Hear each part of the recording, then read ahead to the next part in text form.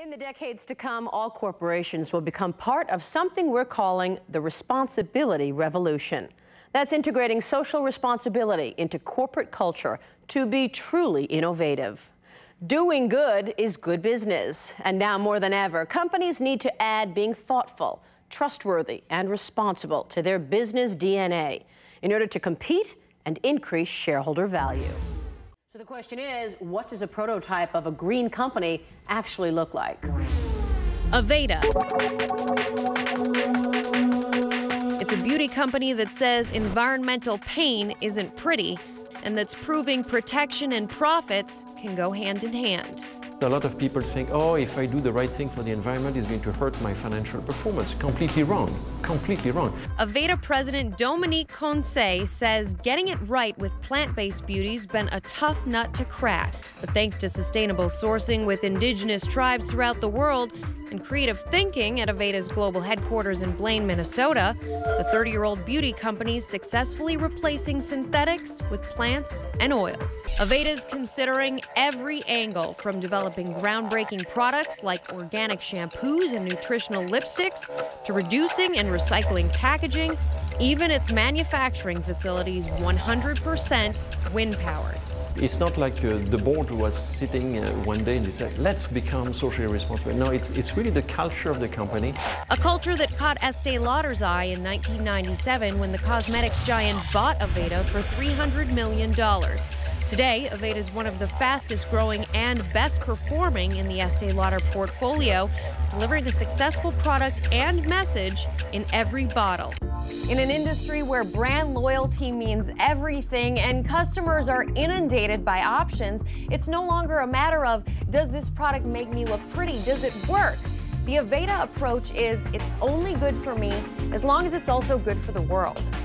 A message more than half of its customers say they understand and hope to embrace in their own lives. Rebecca Jarvis for the Business of Innovation.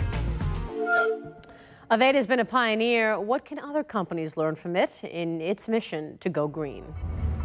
Tim Sanders is a cutting edge business consultant who is an advocate for good values in the corporate world. Tim's latest book, Saving the World at Work, focuses on teaching companies about maintaining authenticity while making the world a better place.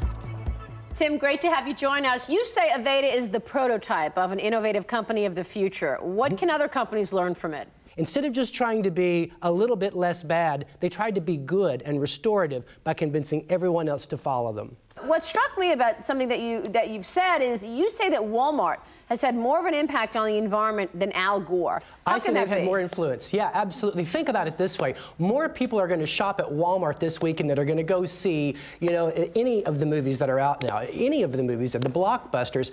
Walmart is dedicating shelf space to educate people on compact fluorescent light bulbs, seven times more efficient. They've moved them from the bottom shelf to the top shelf. They've sold 50 million already since Lee Scott announced the initiative. They're using valuable shelf space and training their people in the stores to educate educate the consumers on organic. And this can't be reversed. Once the consumer discovers these things, it changes them forever. Just to pick up on what you're saying, Tim, I think what is remarkable about Walmart is they pick their battles and they've defined targets.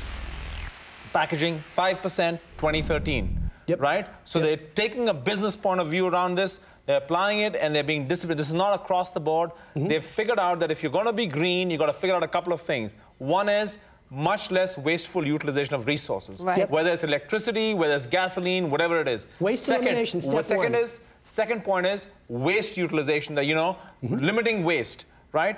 The third level, though, I think, and I don't know where they're going with this or not, is going to be actually trying to engage your customer yeah. in making sure I he or she doesn't waste. That Walmart has had a bigger effect than uh, than Al Gore. Of course it has. Walmart moves the economy. It has a much bigger effect than on everything. On everything. For better or for worse. For, with, between its employees and its customers and shareholders, it moves the economy. The bigger point is that these kinds of changes that happen are going to be moved by business, not by activists or regulation alone. You've got to have business leading it, right. and that's what Walmart's doing by by picking its battles and by moving its suppliers along with well, it. Well, by the way, this is not just a U.S.